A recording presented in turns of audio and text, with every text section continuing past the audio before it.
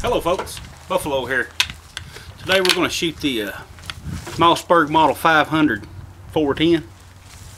You know when I uh, tell people I really enjoy shooting the 410 shotgun, they get that weird look in their eye and I can just see they're imagining me with a uh, some kind of little youth model breakdown 410 or something but this here is an actual adult size pump action shotgun just happens to be chambered in 410 although uh, shells can be expensive for these little guns they are a blast to shoot.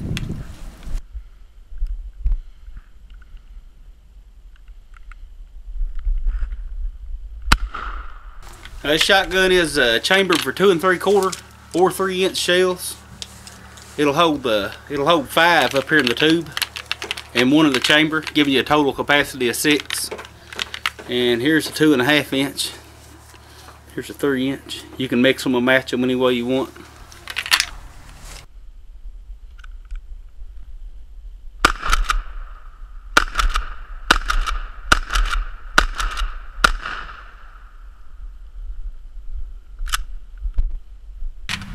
Now this gun uh, does not accept screw-in chokes. It comes uh, with a fixed full choke in it, but you can still shoot slugs through a full choke. Some people think you can't, but you can. Here's a slug right here. Let's shoot a few through it.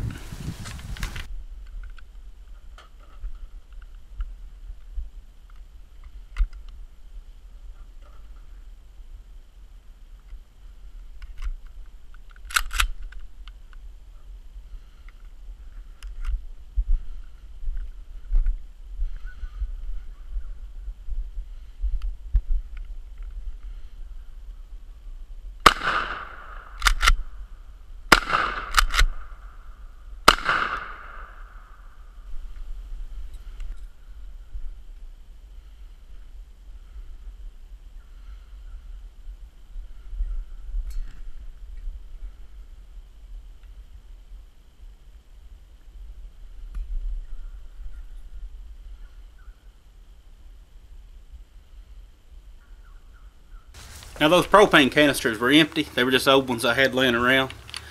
But uh, you can see that that slug, uh, that's a quarter ounce slug. I think it's about 110 grains uh, bullet weight. But you can see that it broke in half and left two equally sized holes on that exit of that last propane canister. Alright, I got an old uh, spray paint can set up over there that's got, feels like it's about a third of the way full.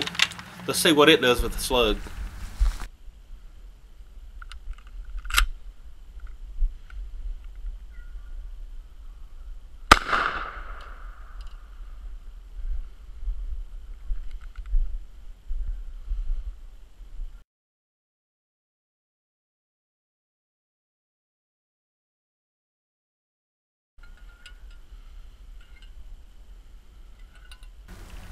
Man, that thing ripped that can apart. Uh, I know people that deer hunt with a 410. I don't, but uh, it'd be it'd be an okay weapon to use in a uh, where you was going to make most of your shots close range. And on a gun like this, it's got the double bead.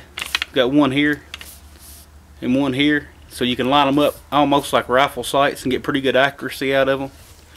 And another thing I want to hit on on these Mossbergs is I love the location of this safety. Uh, my dad lost his right eye when he was a kid, so he had to teach us. He had to learn how to shoot left-handed, and he taught us how to shoot. And the Mossbergs were always, you know, more convenient for him because of the location of the safety. Kind of a ambidextrous position there.